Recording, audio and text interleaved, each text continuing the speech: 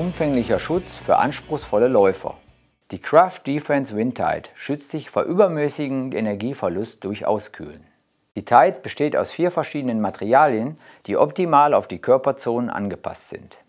Das Innenfutter der Laufhose besteht aus einem weichen Komfortflies, was die Wärme isoliert.